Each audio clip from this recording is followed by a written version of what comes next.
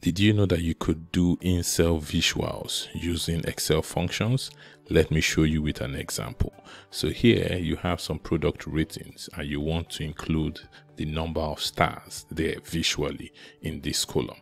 You don't want to do this manually and you know paste the number of stars based on the rating because this data can grow and the data can also change. So you use a function like the rept function, REPT, which allows you to repeat a text a certain number of times. But it doesn't have to be a text, it's whatever you put in double quotes. So what I'll do is that in double quotes, I'll press Windows period and this will pull up my emoji window and I'll select a star. So I have a star in there. I close my double quote and then I say how many number of times do I want to repeat it? Hey, I want to repeat it this rating number of times. So close that.